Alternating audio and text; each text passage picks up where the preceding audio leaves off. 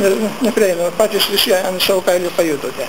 Reiškia, o visam pasauliu pasidarė badas skraidimo, žmonės iš prigimties, kaip sakau, iš pterodaktilio prigimties nori skraidyti ir vadinasi, kai tik to pasakmėje ir atsirado, įsivystė skraidyklė.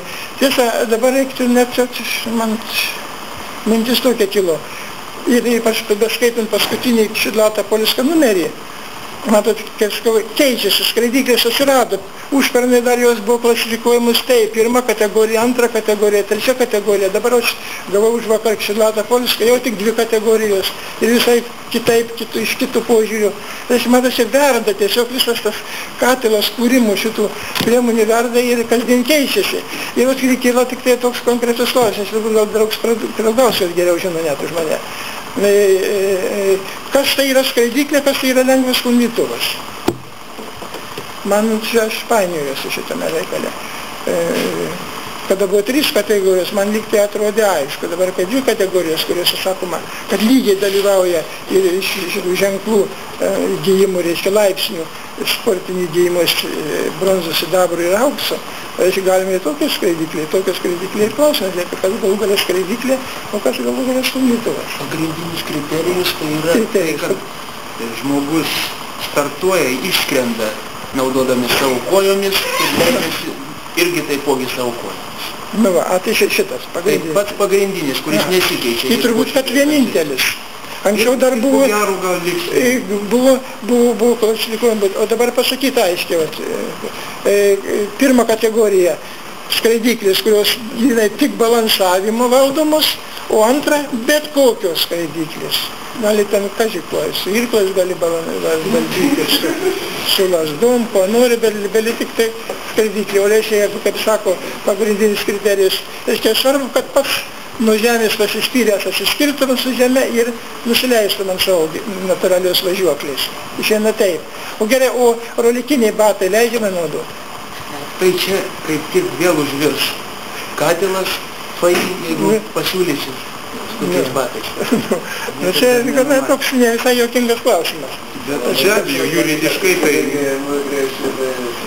Nu, va, tai va šitaip, Tai va, reiškia, keičiasi, reikia mums prisitaikyti. Tai reiškia, žinosime nuo šios dienos, kad štai skraidyklė tai yra bet koks sklandytuvas, su kuriuo gali savo kojomis, nors ir Blanik ar Lietuva, jeigu Lietuva mūsų gamykla sugebės padaryti taip, kad gerbiamasis pilotas įsėdęs nuo savo kojų galės Lietuvą pakilti.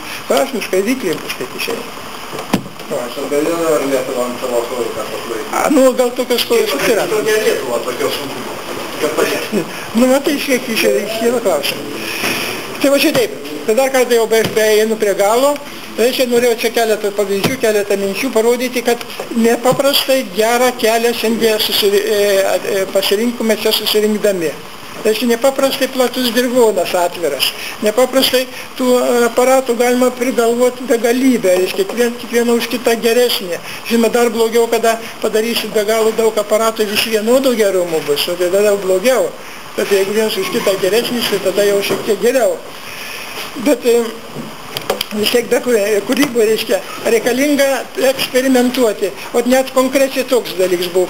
E, šiais metais, šiais metais, kada jau įsiteisino skraidiklių sportas, reiškia DSAF centro komitetas prašė, prašė aviacijos pramonės ministerija, kad jie sukurtų, sukurtų pavyzdinius e, visų kategorijų skraidyklės, e, padarytų technikinę dokumentaciją, padarytų bandomosius pavyzdžius, juos išbandytų ir pas, tuo pagrindu padarytų tai yra dokumentacija, kuri tiktų jau kitiems gamykloms, kurioms tam gamykloms gaminti, gaminti tos gamintuvus.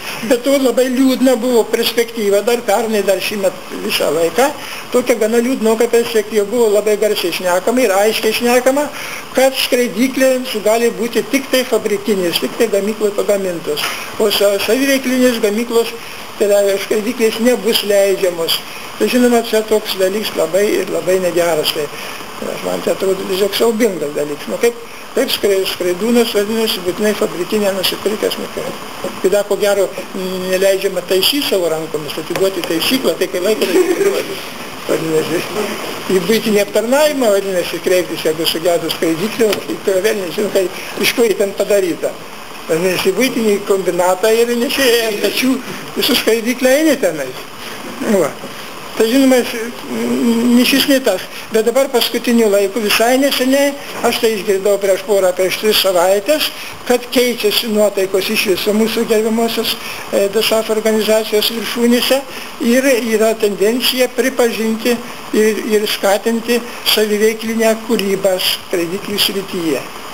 Nu, va, šitas turbūt pasitvirtina, dar, dar oficialaus žinoma raštų neturim turbūt. Tai Tas svarbiau ir oficialų. Tos kalbos ten yra viena iš atsakingos.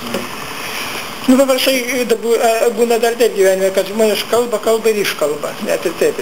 Raštų dar neturim, bet jeigu jau kalba yra ir ypač į gerą pusę, tai reikia ją to, to, to geros kalbos nuotaikomis įgyventi. Reiškia, skaitysime, kad mūsų būsimosios visos skraidyklės Žinoma, jeigu bus techniškai pakankamai gerai padarytos, jeigu blogai, tai į muziejų eis, o jeigu gerai, tai eis į orą. Reiškia, visos skraidys ir visi skraidysime su savo skraidyklėmis, tai bus trigubai didesnis džiaugsmas, negu skraidys su fabrikinė.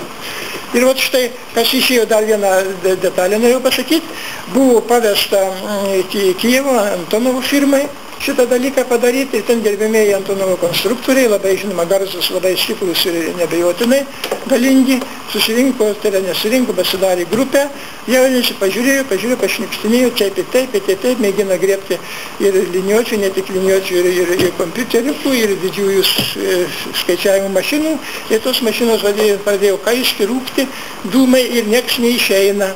Pasirodo, kad reiškia dabar, pagal dabartinę aviacijos technikos lygį oficialų, reiškia pagal šitų nu, laboratorijų bandymus ir taip toliau, kad tas, kas reikalingas skraidyklė, nėra neištirtas rytis, moksliškai neištirta. Ir nesiduoda paskaičiavimų, kaip ten patys gali pagalvoti, kaip ten paskaičiuosi tą virpančią tą audeklą, tą dangą, nu kaip tenais, nu galėjai užsiimti, neturi ką veikti, kokiu dažnumu virpa prie galo, kokiu dažnumu čia, kokia amplitudė, tai matematiniai, kas stiprus matematikai, tai sako, suranda, visokie pritaiko, ten penkių aukštų formulę surašo ir paskui davai skaičiuoti. Bet ten jis praktiškai piš, piš, išėjo piš, ta gerbiamųjų konstruktorių grupė atsisakė šito darbo. Sako, mes negalim, neturim pagrindų, neturim už ko nusitverti sukurti skraidyklę, matematiškai, reiškia, sintetiškai. Tai va, tai dabar paskutinį mano turimum žiniom, nes generalinis konstruktorius Antonovas kreipėsi į Kijevo mėgėjų grupę, mėgėjų Kijevai, jie stiprus skraidūnai, kad jie padėtų šitam reikalė. Na va. Bet iš kitos pusės, kaip minėjau, tos kalbos gerusios, kad jeigu iš viso bus leidžiama saviveikliškai dirbti, tai ko gero atpuls reikalas iš viso fabrikinės išleis. Galbūt, o galbūt lygiagrečiai, jeigu, nu, parduotuvė.